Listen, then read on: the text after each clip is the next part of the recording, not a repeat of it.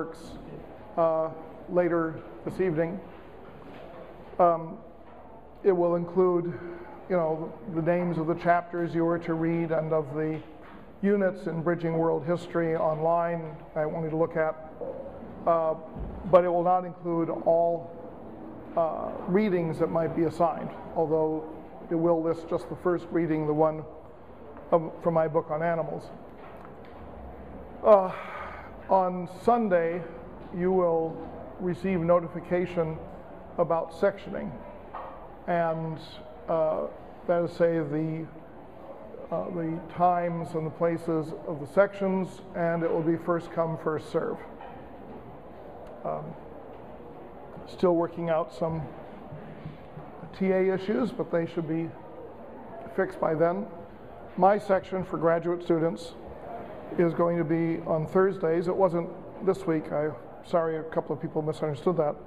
Starting next week, and it will be uh, Thursday from 10 to 11 um, in, in my office in 421, uh, unless there are too many people. So, can I have a show of hands? How many graduate students? Once again, one, two, three, four, five, six. Uh, that seven. That should uh, easily, not easily, that should be accommodatable within my office. So we'll uh, meet there in 421. Uh, all right, this is the week for chapter one. Chapter one deals with the entire history of the species up to the Neolithic Revolution, and then whips through the Neolithic Revolution to the first supposedly the first river valley civilizations in Mesopotamia and Egypt. Uh, in the last class, I sort of debunked the idea that you could learn anything from big history, but somehow you do have to, uh, to, to think about all the things involved with the peopling of the world over a period of tens of thousands of years, uh, particularly in as much as that time span encompasses a variety of significant climatic shifts that make it very difficult to recover uh, uh, exactly what the experience was like for humans as they moved into new habitats. Uh, there are some things that we can tell from, uh, from bones uh, and from implements. Uh, one of them is that the hominid teeth become smaller and these are primarily the grinding teeth, and this is interpreted as a shift to a diet that does not require so much grinding of hard vegetable matter. Therefore, there's, a, there's been a tentative conclusion that uh, as hominids move out of Africa, they eat more, uh, more soft foods, uh, presumably meat. This is also accompanied by uh, a uh, reduction, apparently, in the extent of the intestinal tract, again, uh, seeming to, uh, to allow for a meat uh, diet. Uh, I know this may come as a disappointment to the vegans in the room who are convinced that, you know, since Adam and Eve did not eat meat, that therefore um, vegan culture has been the natural uh, paradisical uh, state of humankind. But in fact, we seem to have uh, abundant evidence that tremendous amounts of meat uh, were, were eaten, that's say, uh, in terms of proportion of the diet. Why would this be the case? Uh, it actually makes a great deal of sense. if you are stranded in a place that you have never been in before. Uh, let us say, you know, you were on an airplane that came down on an island uh, somewhere in the South Seas that has never been located, and at the end you had to survive. Fortunately, there were pigs there. Um, but, uh, but the question is, what can you eat in the vegetable world? What we know is that big proportion of the plants either you cannot digest or they taste awful or they poison you. Uh, a small percentage of them get you high, and therefore there's abundant reason to keep trying. uh, and you really have to, to visualize, particularly for Central and uh, South America, where the number of psychotropic plants identified by pre-Columbian peoples was in the hundreds. You have to imagine, you know, you and you know you and your roommate going out in the jungle and saying, "I'm going to eat this leaf, and if I die, say something over my grave, and but if I don't die, and then report back what I ate, and if I don't die, I'll tell you what it was like." And they end up getting. I think you have to realize that getting stoned was a major social goal, cultural goal for humans uh, in certain parts of the world over uh, substantial periods of, of time.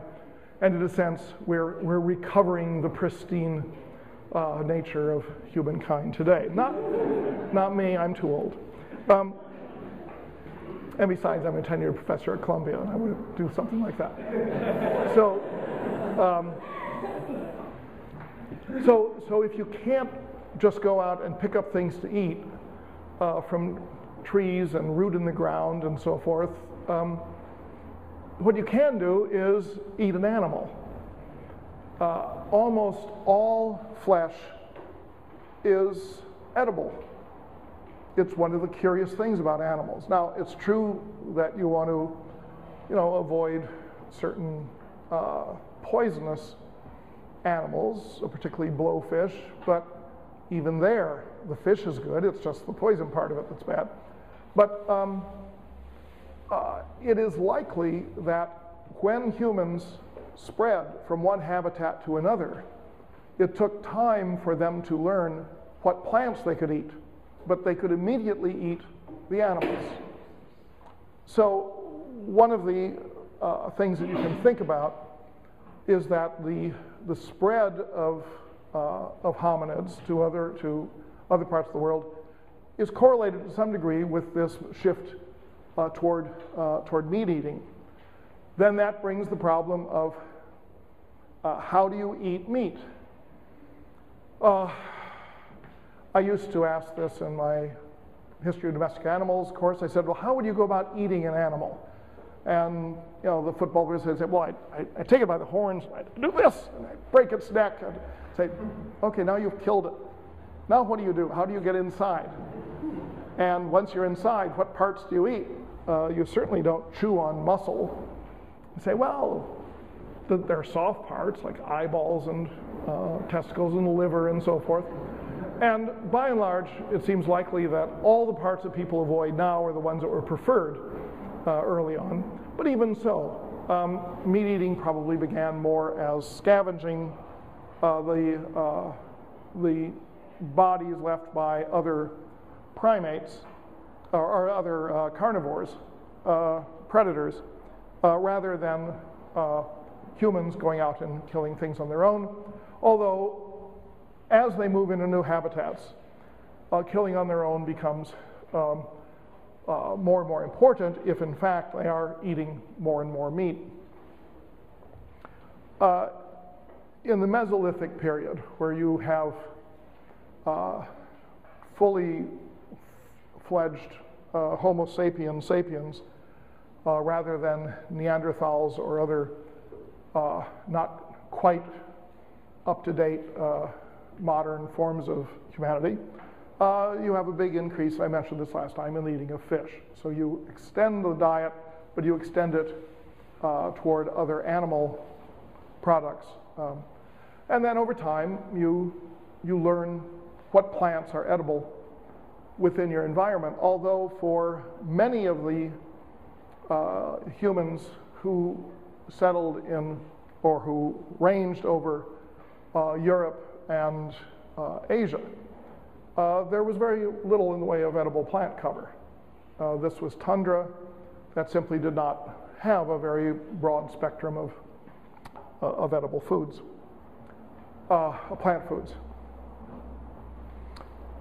All right. Uh,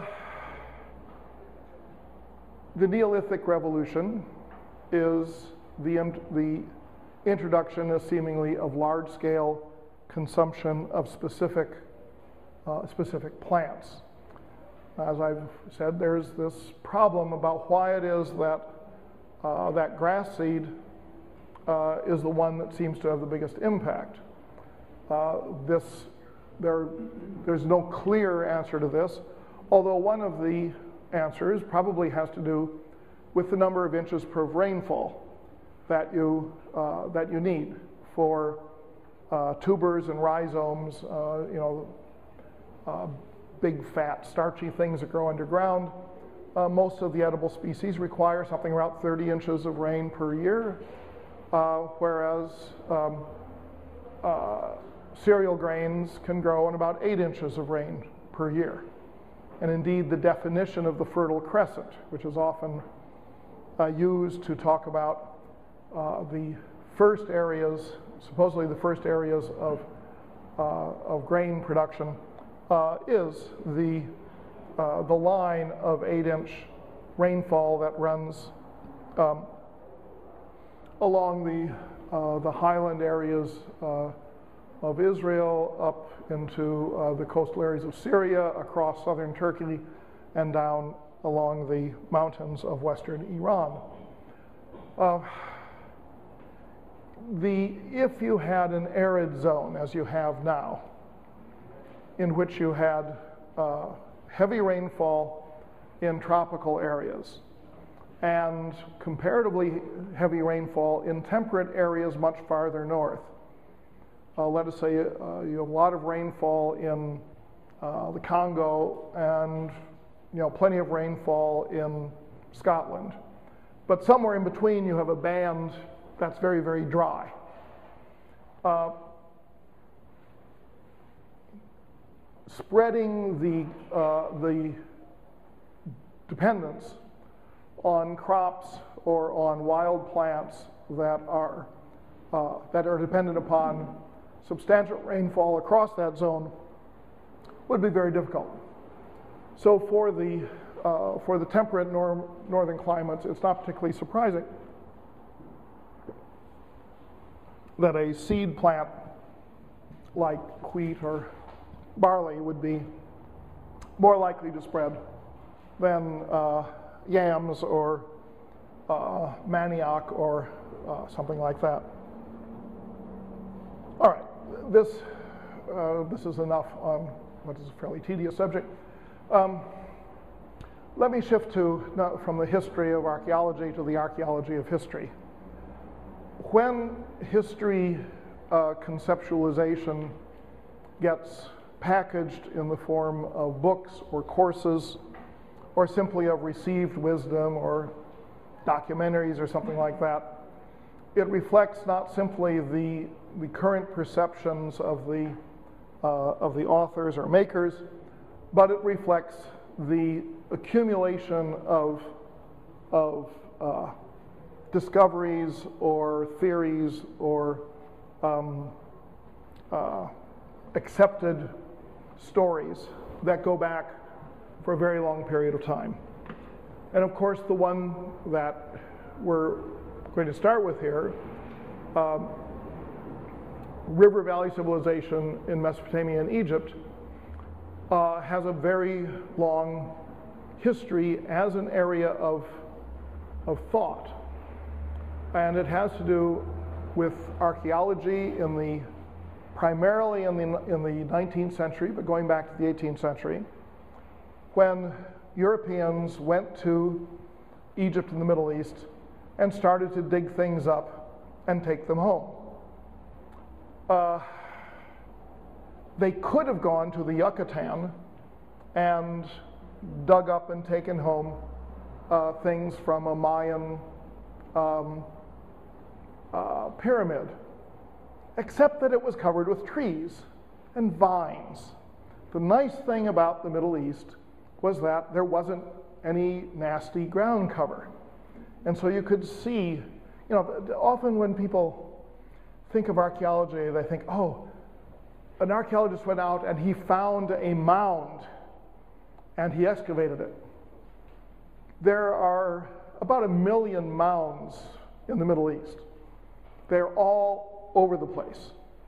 You uh, travel along in a car in Iran or uh, Iraq or something, and you see this irregular landscape where you have um, mounds. Presumably, there's something underneath the mountain. There's no trouble finding a mound.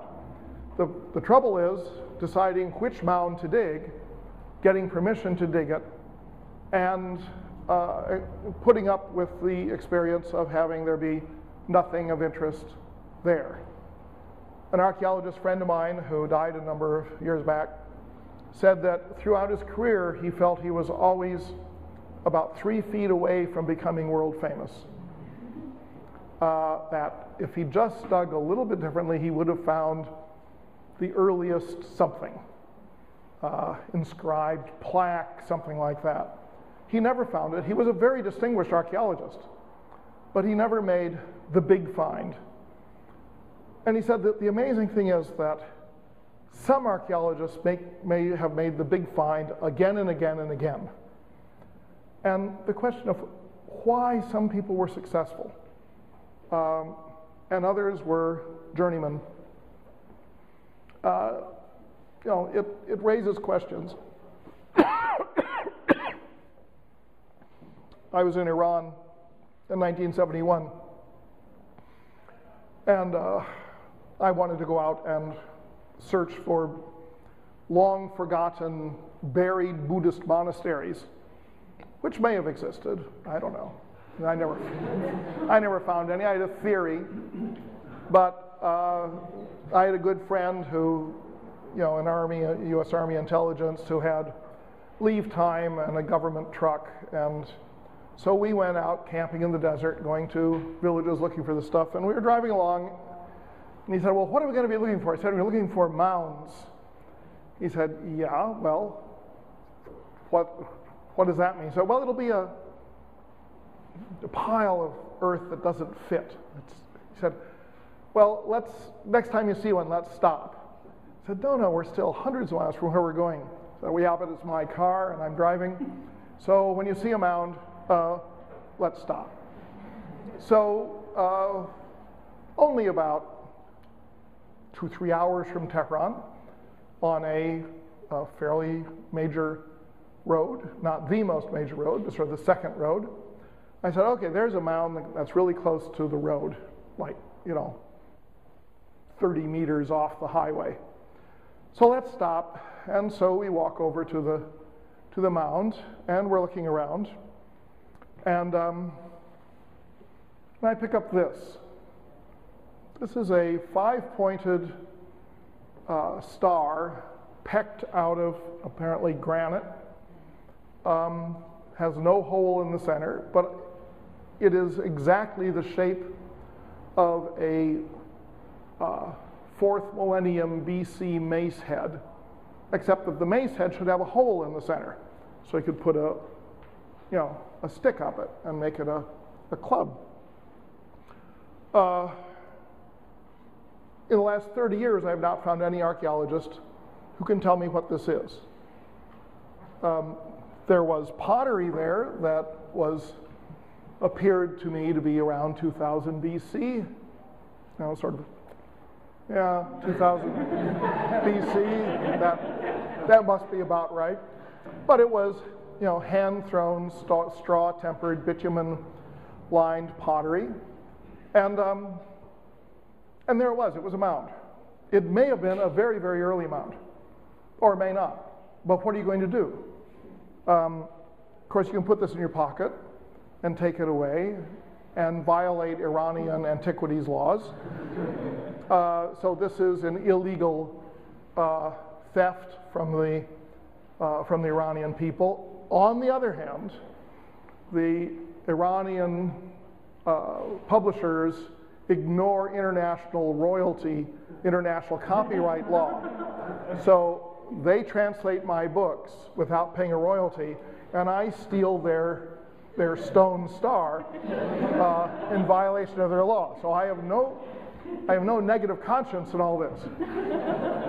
But but the point is that there are there are lots and lots of sites. Uh, in the last 30 or 40 years, uh, fewer and fewer sites have been dug and more have simply been, uh, been surveyed.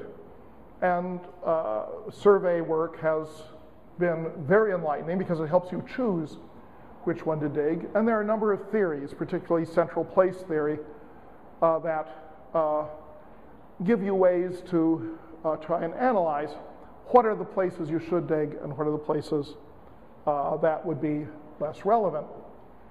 Uh, but of course, then you have to have permission. Now, in the 19th century, uh, you simply went and you stole whatever you found. you got permission from a governor, perhaps, uh, but you took whole temples off to European museums uh, and so on. An archaeologist, uh, more or less my contemporary in Iran, told me that there was a village in Iran where he had uh, examined a, uh, an Akkadian inscription on a stone. Very rare to find Akkadian inscriptions in the Iranian highlands. and the villager said that a couple of years earlier, uh, some Japanese in a Range Rover, Rover had come to the village and ordered the villagers to put the stone in the truck. And the villagers said no, so the Japanese drove off. But, you know, at 100 years earlier, that would have worked. They could have taken it back to Tokyo. It would be a nice museum there. Uh, the result is that where the excavations are done is a function of the politics, the, uh, the geography, the degree of safety for people working in a particular area, and that all converged very nicely upon Egypt and Mesopotamia. Uh, and lo and behold, um, where you were able to dig most easily is where you end up deciding civilization started. Now, this has become an irony because one of the great problems of the master narrative that dates the beginning of civilization to Egypt and Mesopotamia is that people in Egypt and Mesopotamia were not European white people. Um, this, this is was a big problem back in the 19th century because uh, racialist theories of superior and inferior peoples were, uh, were very widespread and had a big popular following.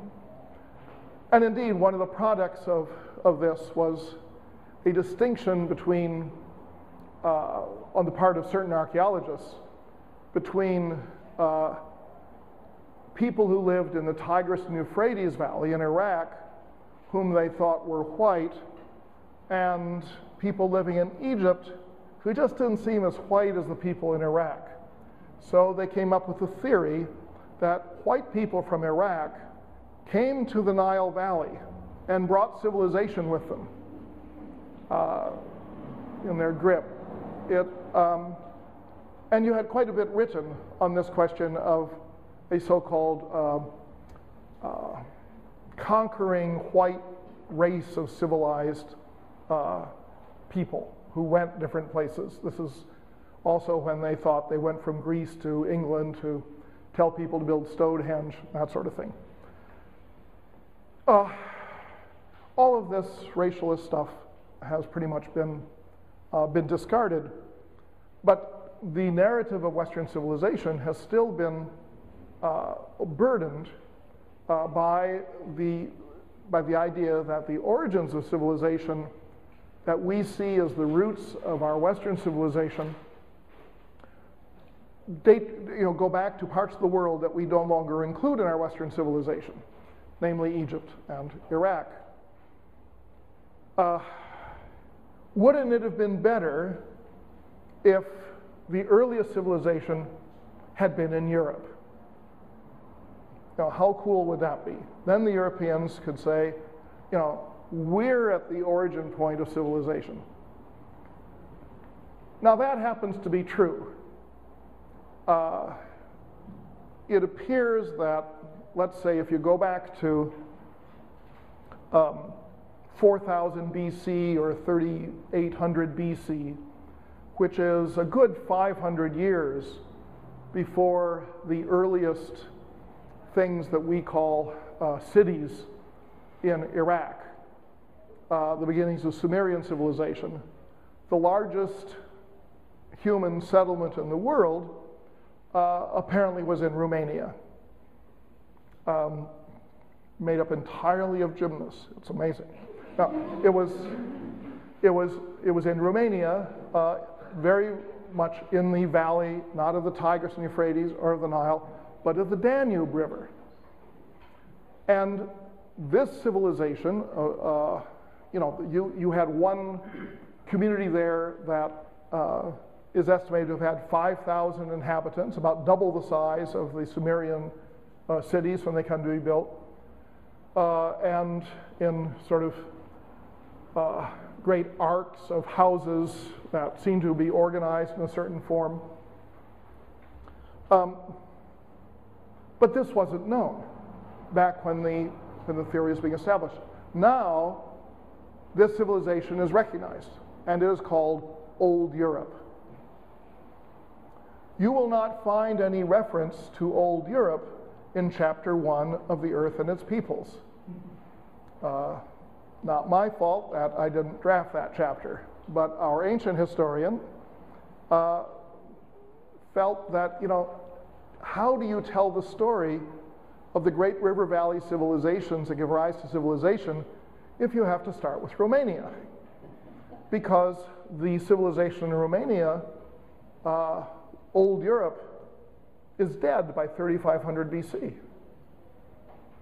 Instead of it going on and giving rise to empires and codes of law and religions and so forth and so on, it began, it flourished, it ended. And it was in a river valley, uh, which, which is very, you know, raises a great problem because the, the standard narrative requires the reader to believe that uh, civilization, uh, once it starts, is kind of self propagating. And you can see it spread and you can see it uh, increase in complexity. So, what was going on in Old Europe and why didn't we know? Well, of course, when you go back to the 19th century and you look at the areas that were involved, which were primarily uh, Romania, Bulgaria, and uh, uh, the southernmost parts of Ukraine, uh, this was a very unsettled and warlike period. It was a period of the decline of the Ottoman Empire, uh, rise of very parochial nationalisms among the various uh, peoples of Southeast Europe. It really wasn't a good time to simply go out with a shovel and start digging up in someone's village. Um, so that was one reason, perhaps, that people never noticed this civilization. Uh, there would also be the question of if you found something, how did you get permission to, to take it to your museum? Uh, because who, who was the government? The government. And that could be a problem. It turns out that uh, old Europe was not suspected to exist as a civilization until the Soviet period you know, following uh, World War II.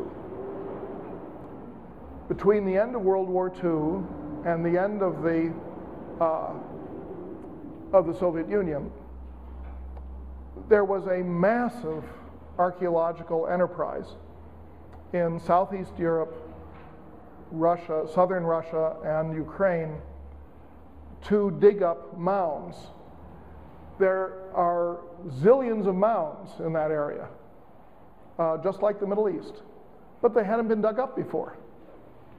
Uh, there, you know, there wasn't any um, any tradition that there had once been a civilization there. And when they were dug up, uh, the findings were published in Russian and Romanian and published by local academies of sciences in uh, books and articles that were not read by Western archaeologists. they also were books and articles that were predicated upon uh, Marxist theories of the development of human society, which were very different from those that prevailed among Western archaeologists. So when the Soviet Union fell, there was a particular uh, time and place where a handful of archaeologists were invited from Russia to come to an archaeological convention in the United States and to talk about what they and their colleagues have been doing for the last two generations. And lo and behold, they said, we have found a civilization that is uh, uh, incredibly complex and that has the oldest layers uh, going back to well before uh, parallel um, developments that you have in Egypt and in Mesopotamia. Uh, but it came to an end.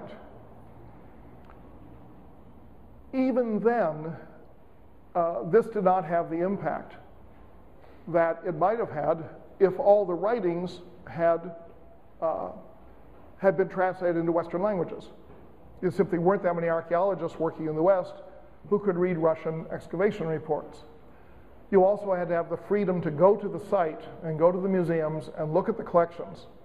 So it is only now that the, uh, the, the great accumula- uh, accumulation of archaeological knowledge from the Soviet era is being melded into the thinking of, of European archaeologists.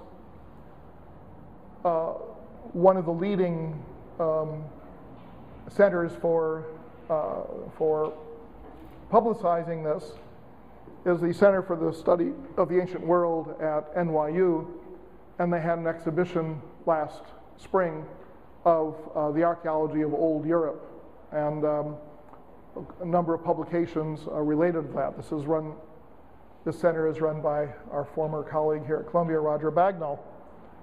Uh, but the, the easiest place to get access to this is a book by David Anthony called uh,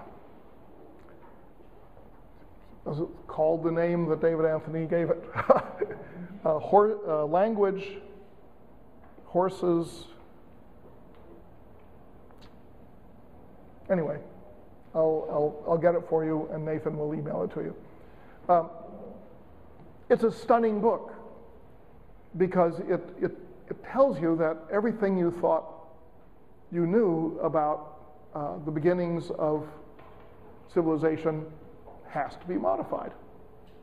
How long it will take for it to trickle down into textbooks, I don't know, but when it does, it will raise the question of um, why uh, the, the growth of dense human settlements based on grain, on grain agriculture did not succeed in perpetuating itself in Southeast Europe, while it did in Egypt and, and Mesopotamia. Not only that, but it turns out that while old Europe has roots that go back, or outshoot, offshoots, I should say, that go up the Danube River toward uh, further into Europe, as you move east across the, uh, the northern edge of the Black Sea, let's say, here, here's the Black Sea. And here's the Caspian Sea. Here's the Caucasus Mountains. You've got a little connection here, and here's the Aegean Sea that connects to the Mediterranean Sea. Um, there are great, great issues having to do with this, with this area. Uh, one of them is the hydrology of the area. Um, the Danube flows into the Black Sea. Then the, the, the Dniester flows into the Black Sea. Then the Bug. Then the, uh, the Dnieper.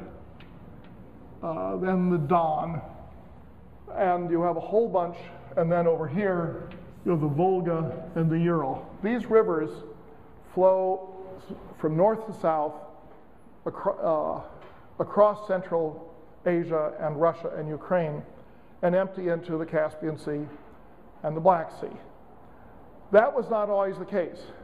It appears that when you go back to, uh, to glacial times, when Northern Europe was buried under, um, under vast quantities of ice, uh, these rivers didn't flow in this direction. It's when you get the melting of the ice, which is around 12,000 BC, the last ice age, that the, the weight of the ice as it melts, uh, the disappearance of that weight allows the, the land to uh, sort of spring back. And so these rivers start to flow into the Black Sea and the Caspian uh, in larger amounts. But during the Ice Age, uh, the, the sea level fell so much that the Black Sea was not connected with the world's oceans. And in fact, the Black Sea uh, appears to have been uh, a very a fairly shallow lake. Uh, if you go back further into the ice ages, you'll find that the Mediterranean Sea was almost dry. Uh, when you look at cross sections of the Nile Valley, you, see that you know here you have the Nile flows in the Mediterranean, but if you look at the cross section, you find that at one time, instead of flowing into the sea here, it was flowing through a very deep canyon to get down to the level of the Mediterranean Sea. Because the Mediterranean Sea was almost dry, and what you have now, places like Cyprus and Crete, Sicily, islands in the Mediterranean were once mountaintops. Uh, and, it, and it helps explain why you have certain species of animals that get isolated on these islands and um, are left over from the time when you could walk across the area that becomes the Mediterranean Sea.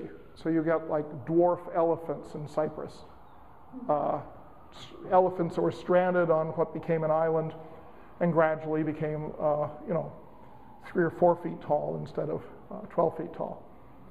Um, but that was, that was a long, long ago. The issue of the Mediterranean and the, and the Black Sea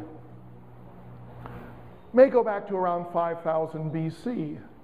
In other words, within the same very broad uh, time horizon of when the old European uh, uh, civilization came into being. And you have different theories. Uh, two scholars at the Lamont Doherty uh, Earth Observatory, uh, the Columbia Center for Studying Oceanography and, you know, all aspects of geology that's located across the river just north of the George Washington Bridge.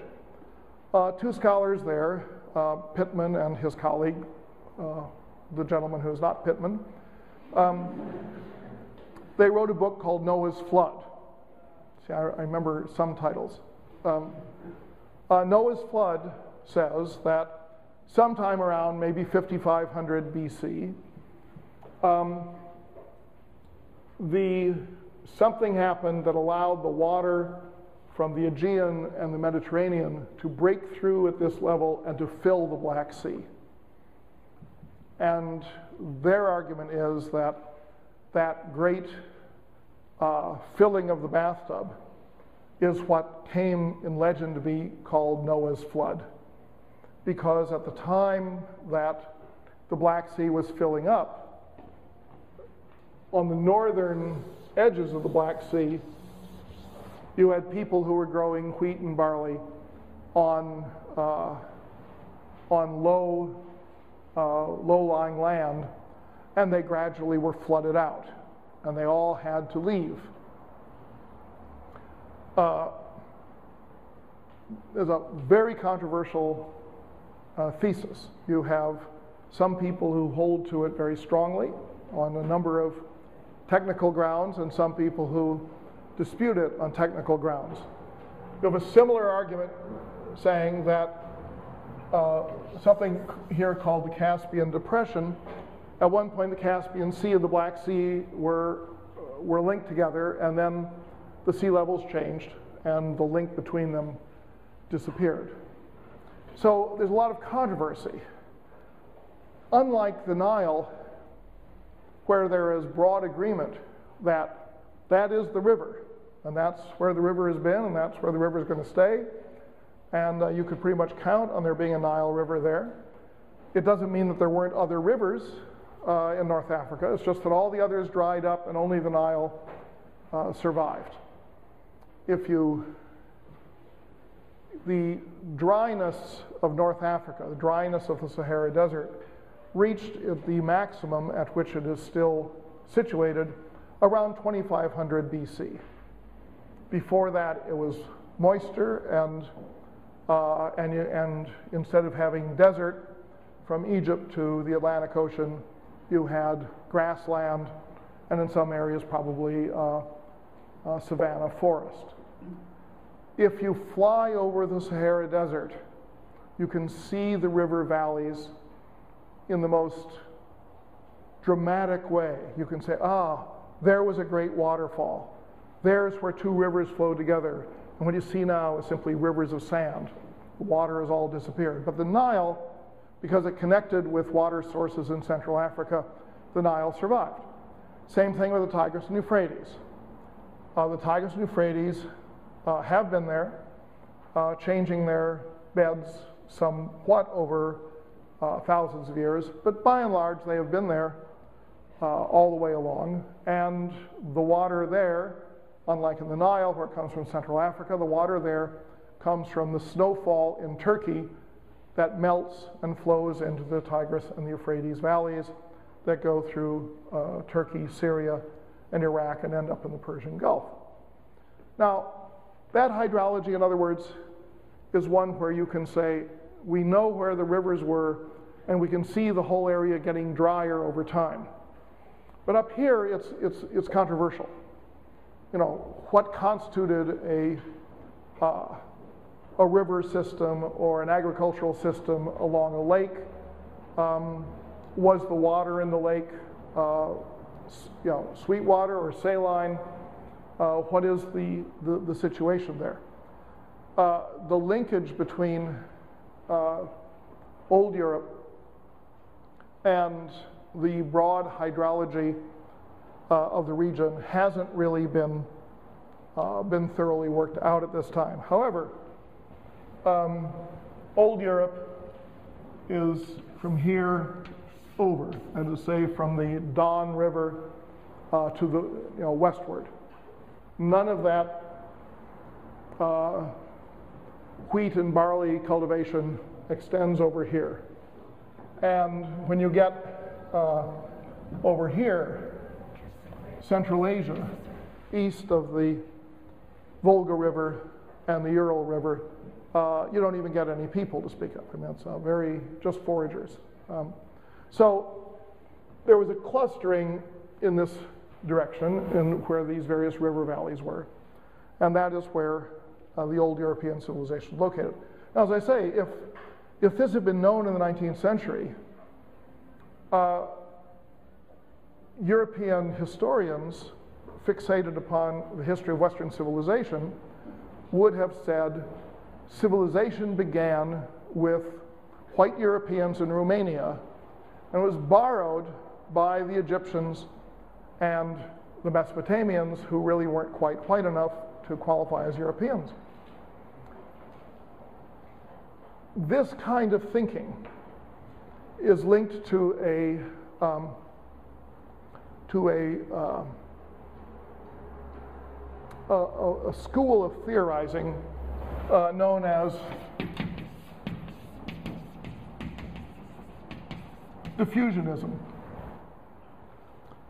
Diffusionism is based on the idea that it is more likely that something will happen once and spread than that it will happen in a similar or identical fashion in different places uh, that are not connected with each other. One of the, is one of the great areas of, of controversy, both in archaeology and in history, is what do you do when you see a phenomenon that occurs in different areas?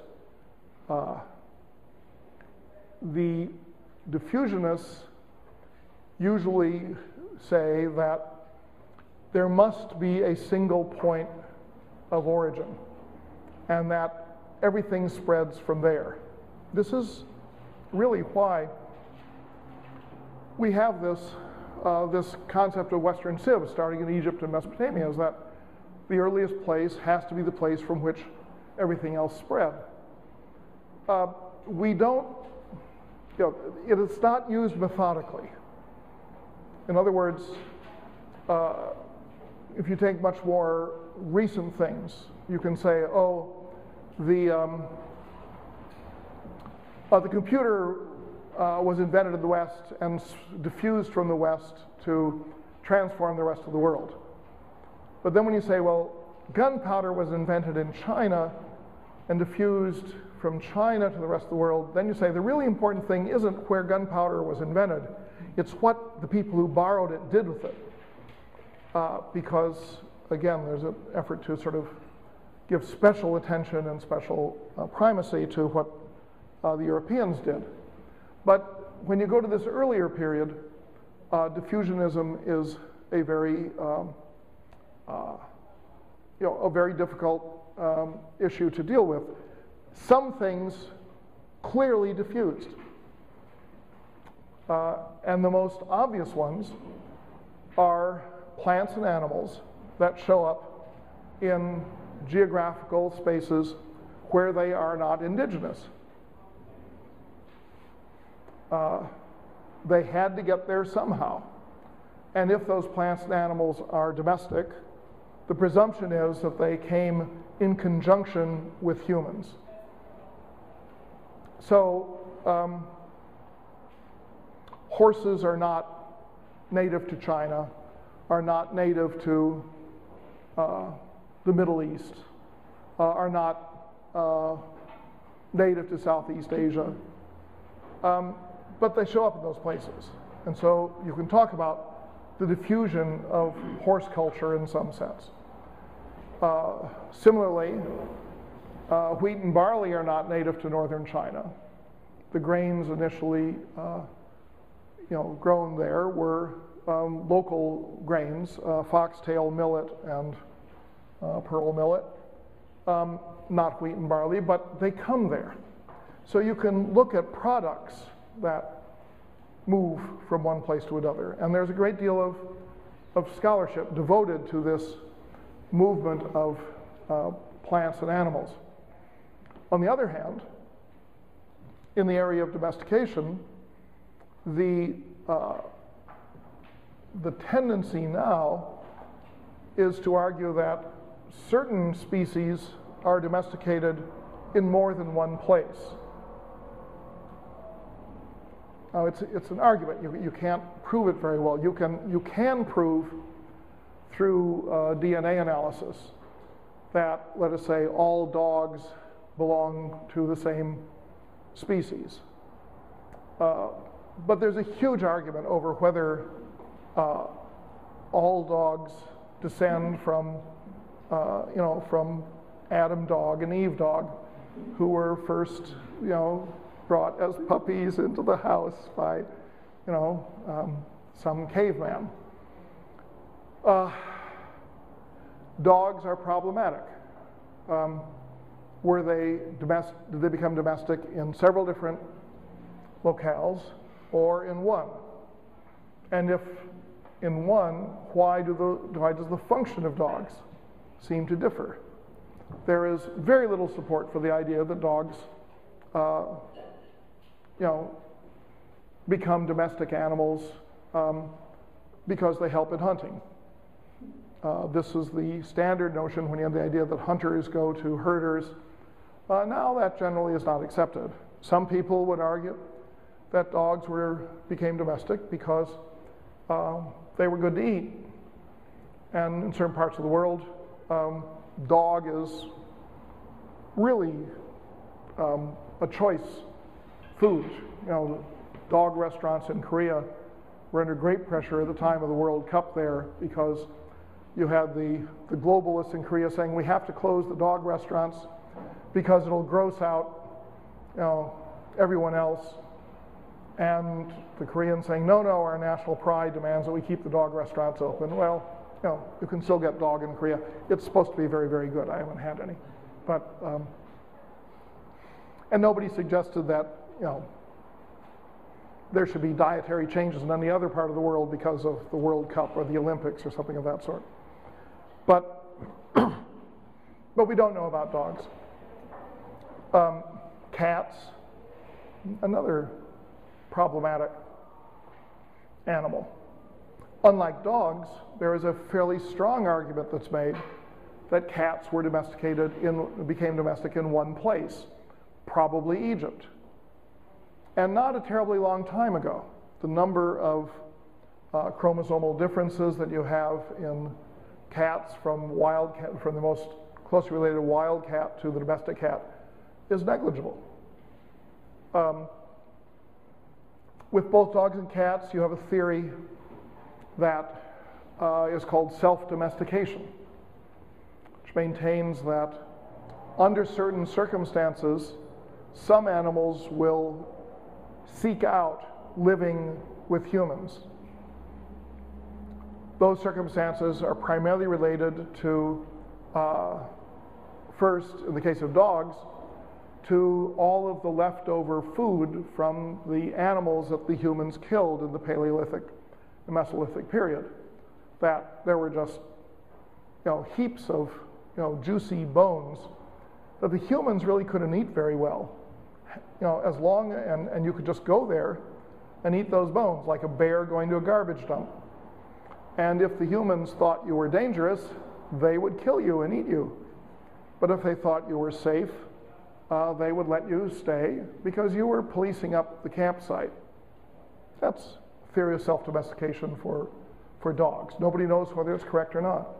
Self-domestication for cats maintains that in Egypt, perhaps elsewhere, but Egypt is the most likely, um, when you had grain uh, agriculture, people started to collect large quantities of grain and store it. And where they stored large quantities of grain, they attracted large quantities of mice.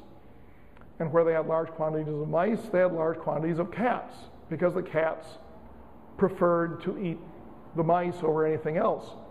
So they didn't say, let's live in this human encampment.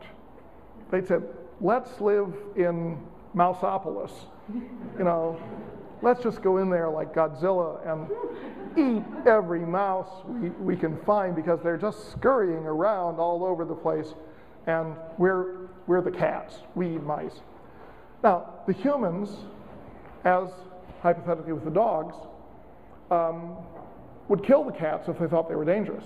You know, scratch my baby, I brain you. you know, that, but if the, if the cat was, uh, was docile, um, they would uh, permit it to live because it was clearing out the mice. And this gets into the crucial issue of the definition of what is a domestic animal. And which I've talked about in, in, in what I've assigned for you to read. Uh, by my definition, a domestic animal is an animal that belongs to a population of a given species uh, in which you have uh, docility inherited from generation to generation. It has nothing to do with taming animals or, you know, getting puppies or cubs and raising them uh, among humans. It has to be inherited so that you go from generation to generation, and each generation is uh, is docile. And the way that occurs in the experimental uh, studies that have been done in the 20th century is that if you take a population of wild animals and you force them to hang around with people, so that there are people over the place or put in a cage in a lab or something like that, most of the wild animals uh, will not be able to have sex. They'll just be too anxious. You know, oh, who's looking? You know, oh, geez, I, you know, there's Bob again looking. You know, they, uh, they just won't do it.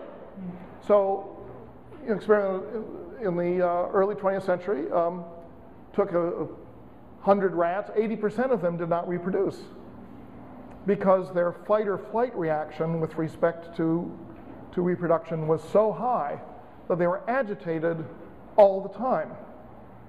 And the only ones that reproduced were the sort of stoners, the, the laid back rats. Said, Oh, all right, Bob. You know, cool. I'll watch you too.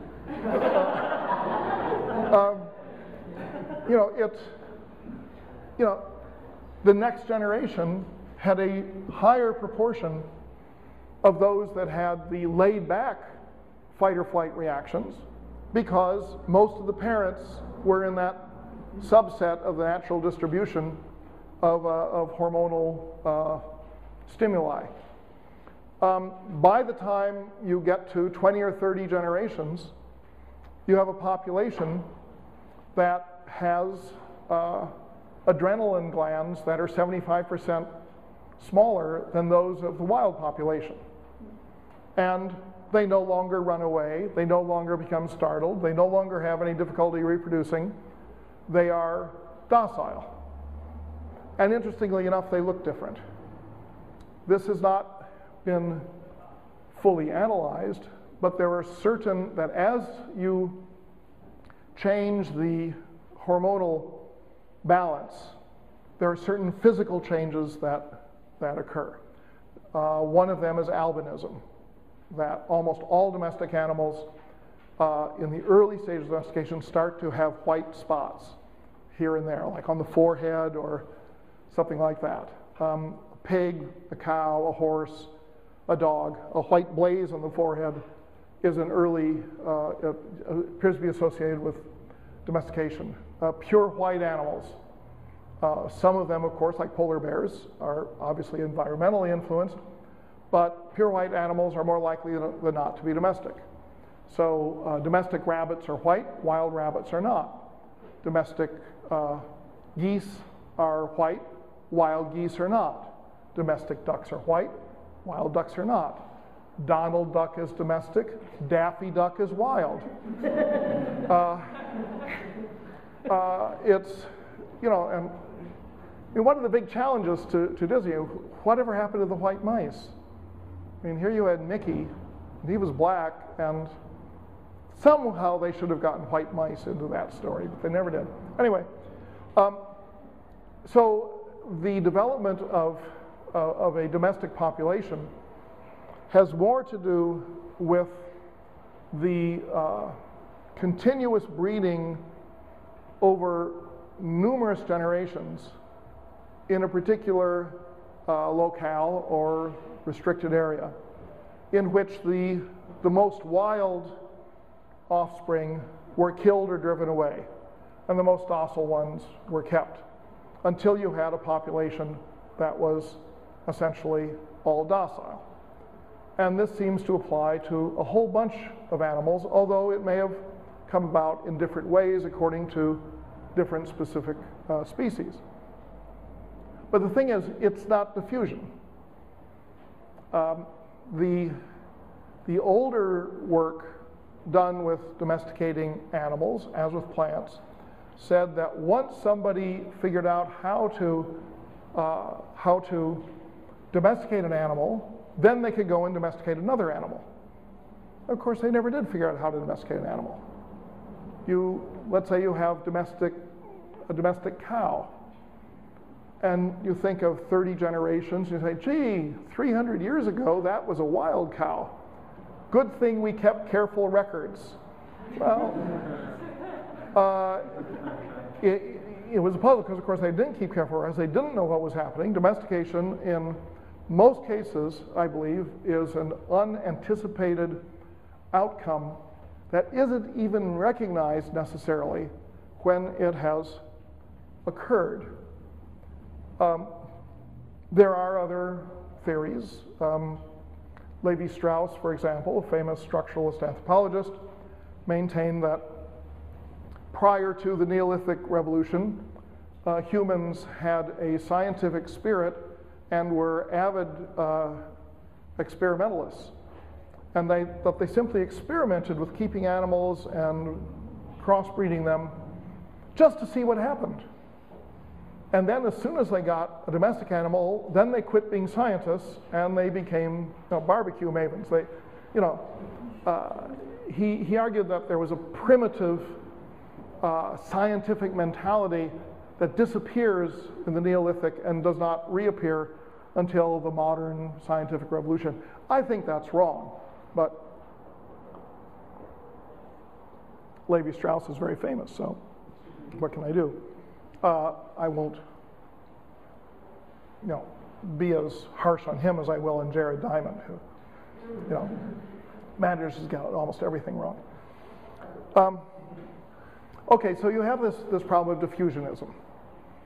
Uh, we have a master narrative that says that um, the uh, wheat and barley begin to be uh, uh, uh, domesticated wheat and barley show up in the Nile Valley and Mesopotamia, and they spread from there. If you go to the website for Jared Diamond's books, uh, book, Guns, Germs, and Steel, you will actually have an animated map that will show here's where wheat and barley start, and they spread. And here's where potatoes start. That no, no potatoes, no yams, no corn, no anything, just wheat and barley, because that's the whole story. Um, diffusionism is not nonsense, but it has to be, uh, you know, looked at very carefully. When it comes to the question of old Europe, this is a, uh, a hot debate. One of the um, dominant theories about the end of old Europe by one of the first archaeologists to, uh, to show that this had been a uh, dynamic civilization by 4000 BC, uh, Maria Gimbutas, she said that this civilization was destroyed by horse riding, um, mace wielding, uh, you know, chariot driving uh, warriors from, from the east. Um, and of course, there's a corollary that old Europe is seen in this theory as being uh, matriarchal, that because we have now many, many little figurines, thousands of little figurines of, of pregnant or at least overweight uh, females. And then we stop having those. So it's the idea that the beastly, uh, heavily armed, testosterone driven men and their chariots and horses came in and destroyed the peace loving uh, matriarchal women of Southeast Europe who had actually created civilization. And then they, it got stolen from them. Because that's just what men do. You know, they're, they're just beastly. Um, well, uh, you know, David Anthony, who's written the, uh, the book, the name of which I can't remember, um, goes into this argument in quite some detail because he's particularly interested in the origin of of these horse riders and uh, chariot drivers, and particularly of the relation of uh, horse riding and chariot driving uh, to the Indo European languages. And this goes into another um, chapter in this sort of big history uh, story of uh, you have archaeology, uh, you have um, uh, study of bones, of implements, of climate change, and you have language. And this is one of the hardest things to, to deal with in a world historical context because to study language um, kind of means you have to know some language, and generally uh, we can make no assumptions about foreign languages. In particular, there's a question of when does language arise, and um, why does it get divided up uh, geographically and by social group in the way that it comes to be divided up? Oh, I know, okay, Tower of Babel, um, that explains it all. Uh, but it, it, it really is a, uh, a problem, and it's a problem that relates to not simply um, the, the surviving evidence of language and language difference, but also to scientific theories about how language comes to be produced. Now, here, um, the, the most controversial uh, argument uh, has been that, uh, that syntax, the ability to link uh, sounds together in a meaningful fashion, uh, which is seen to be uh, you know, essential to define a language. That syntax uh, comes about because of a uh, genetically established capacity of the human brain that no other animal has. And this is the idea of a syntax gene or a language gene. Uh, Noam Chomsky is the uh, primary author of this theory. who was almost unquestionably the most famous and um, brilliant American uh, scholar of linguistics before he switched to, uh, to left wing polemic writing, uh, where he is now America's perhaps foremost and most brilliant writer of left wing polemics. Uh, but nevertheless, Chomsky's notion of the language gene um, encountered the question of the physical capacity to, to, create, to, to create language. In other words, the, the great apes, uh, who are our closest relatives, do not have a physical capacity to, uh, to create linguistic sounds uh, or modulate them in their throat with their lips and so forth to, to create speech. So at some point, you have a physical capacity that comes into being, and according to Chomsky, at some point, you have a, uh, a genetic capacity to make use of the physical capacity. Now, one could argue that the physical capacity to make the sounds must have come first, because it would be sort of silly to have a syntax gene and say, you know, I really want to recite the Iliad now if you couldn't make the sounds. So, uh, so I had a conversation with um, one of our anthropologists who's made his reputation on uh, studies of the brain and the physiology of the, of the skull. And, um, and we talked about this, and he said, well, chimpanzees can have the physical capacity to hum. Have the physical capacity to hum, but they don't. And, and that was sort of interesting. You know, you go, mm-hmm, bananas, but, but they don't choose to. As if he was saying, well, there was a physical capacity, but the, the will wasn't there. Then you get to the debate over Neanderthals you know, humans from before 40,000 uh, BC. Could they speak? And you get disagreements on that.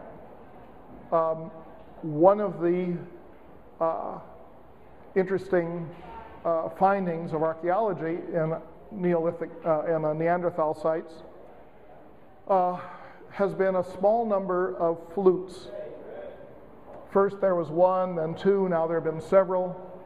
Uh, these are uh, bones that are perforated with the perforations spaced in such a way that you could play it as a flute. Initially,